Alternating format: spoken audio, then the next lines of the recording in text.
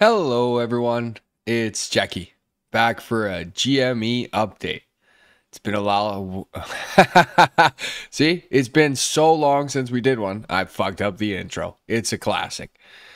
So, haven't really been uh haven't really been many things to say about GameStop's price action lately. It's just been in this like kind of holding pattern, if you will. Uh, but there's a few things that we can talk about here that uh, I think are pretty interesting.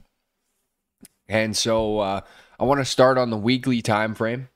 So on the weekly time frame, you have essentially printed a weekly doji.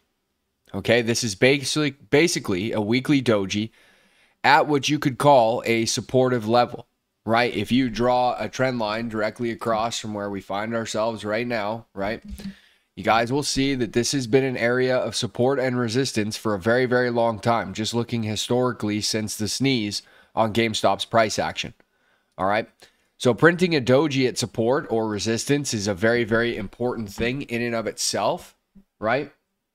Because it signals a lot of indecision, a lot of indecisiveness from both bulls and bears. So this is going to be a really, really important spot going forward. Now, I also know that 2540 is going to be a massive spot. Okay, 2540 is arguably the most important spot on GME's chart. It is a macro 382 Fibonacci from when we had our sneeze events. Okay, so if we take the Fibonacci from the most recent high to the most recent low, you can see that that puts our 382 at around the same exact place right? The exact same place, basically where our 0.5 Fibonacci is found from this low to this high. All right. So we go from that low to this high, drag this across. You can see that the 0.5 and the macro 382, okay, the 0.5 and the macro 382 are basically aligning with one another, signaling to us that this zone is going to be wickedly important. Not just that, but you've also got your weekly 200 just above it at 2620. So we know that there's there are hard layers of resistance above, right? We know that. So we know that if we break through that zone with large amounts of volume and healthy price action, you will see a monster explosion from GameStop. And this chart is poised for a move. The move is poised. It looks like we are preparing to do something fairly significant. Okay, that's how it feels to me. It feels like we are preparing to do something rather significant. Now, you can see that we're resting right on the macro 382 Fibonacci. That is very, very important. And then turning off all of the drawings, one of the most important things that we have talked about for weeks now, post Golden Cross, was price coming down and testing said Golden Cross. Well, you have so far tested that golden cross somewhat successfully, managing to hold above it as both of those moving averages continue to slope up and out, and the splay between these two moving averages continues to widen, suggesting that this is still very, very, very strong. And then look at the severe decline in volume, just like what we saw last time. Steep decline in volume, huge move afterwards. Steep decline in volume, huge move afterwards. That's what we're hopeful for, right? And this is what we look for with consolidative phases, right? We look for price to find an area of support, hold around there, right? After testing it multiple times, perhaps somebody's trying to, uh, I'll say, accumulate shares here, right?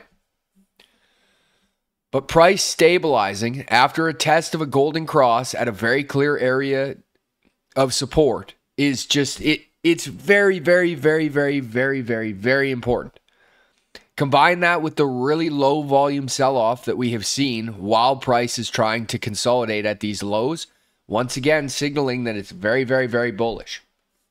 So, what are we looking for this week? Well, plain and simple. You want to see that golden cross continue to be either be tested or a huge breakout through it. And you guys know the levels to break above 25, 40, and then 26. If you can get through that with volume, and with healthy price action, i.e., nice full body bullish candles, you will see big explosive moves on GME because you are testing one of the most important technical artifacts on the chart with this golden cross, right? Now, if we fail to break out this week, right? If we fail to make a big breakout move, right? Then we're going to look to support below. Support below can be at the daily 50, which comes in around 2330. Support can also be this macro golden pocket here, right? Sitting right here at about $20. And then there's a gap fill underneath that, which we know is likely to be filled if we do start breaking through this daily 50 and back down, right? And that gap fill doesn't complete until about $19. So that's what we would look at on the downside. Now, my prediction for the week, well, we're basically sitting in a four hour RSI wedge. If I turn the drawings off, it's easier to see. You're basically inside of a four hour RSI wedge. That's very positive. And then look at your daily MACD. Your daily MACD has now crossed through the center and price barely did shit. And now you could potentially get a MACD cross that actually happens underneath the center with all of this bullish divergence taking place. Not just on the RSI, but on the MACD as well. This looks really, really healthy. So my prediction is is that we will hold this daily 50 and push off of it and then we'll have to see how we handle that $26 range and if buyers step in. But it looks pretty damn good to me. Right? And then here's the kicker. If we open up the Bollinger Bands on the 4-hour time frame, look at how tight these things are. This thing is just screaming at us that it wants to make a huge move.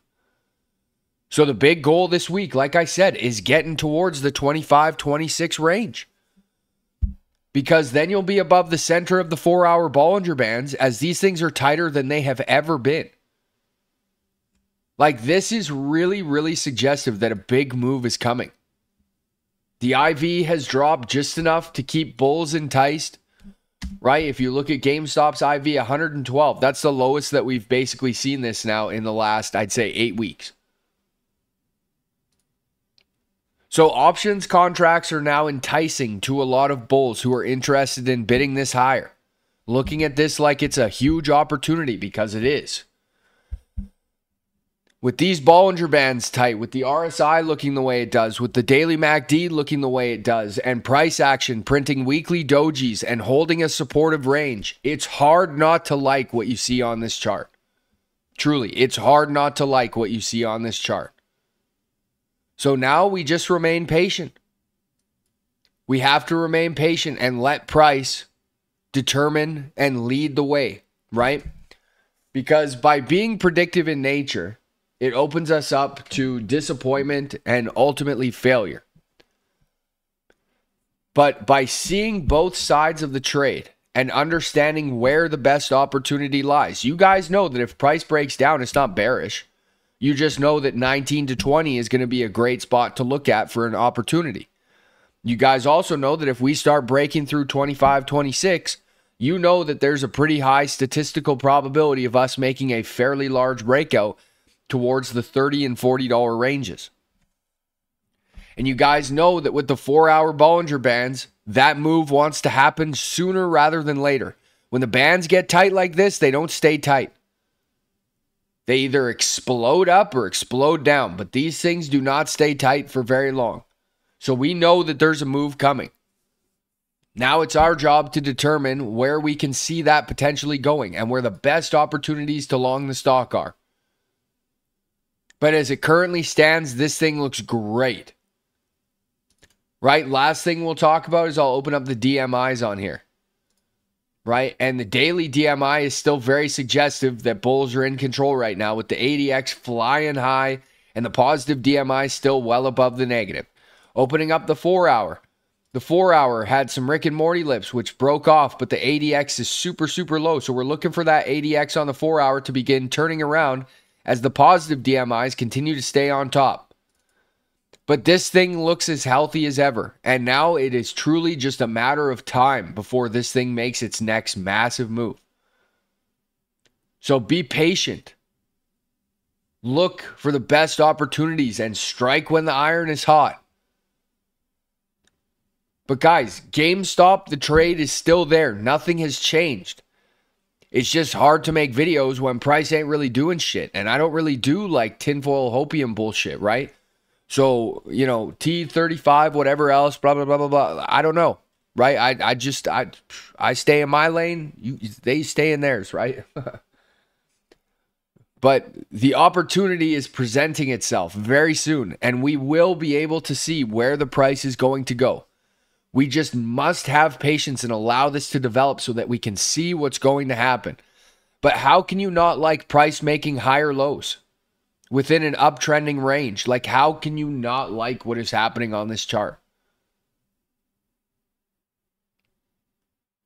Like, I really think that this thing is setting up for a massive breakout. And the funny thing is, is you've got a stock like Koss making its biggest move that we have seen in three plus years. Right, this is the biggest move that we've seen on Koss since uh, since its squeeze events back when. Right, this is the single biggest move we've seen since then. And that is the largest daily volume candle that Koss has ever had in its history. Look, that's the history of Koss stock. And look at this thing. That is the largest volume that you have ever seen on Koss.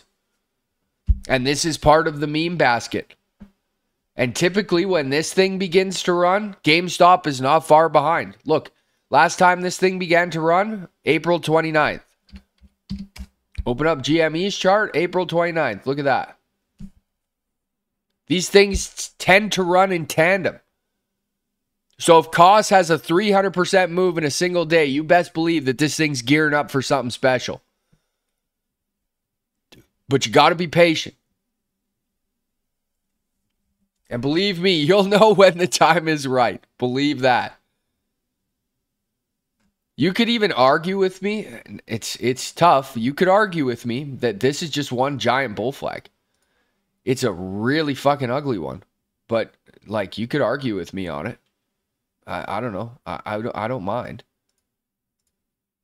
Like you could argue that that's literally the most ghetto ugly bull flag of all time, but it could be one.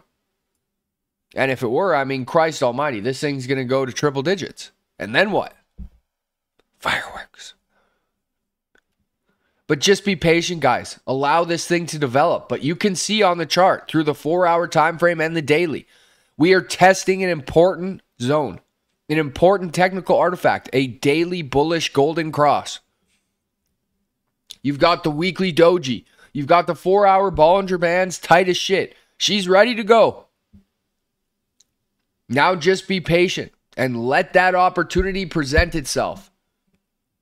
But I'm telling you guys, this thing is ready. It's gearing up. Just be patient because we don't want to jump in too soon and then people bag hold or feel like they're bag holding, right? You don't want to jump in too soon, especially those of you that like options. You've got to find the best opportunity, right? So, none of this is financial advice, obviously, just educational content. You guys know that. So thank you all for tuning in. I appreciate your time. And uh, I will see you on stream this week. See you later, folks.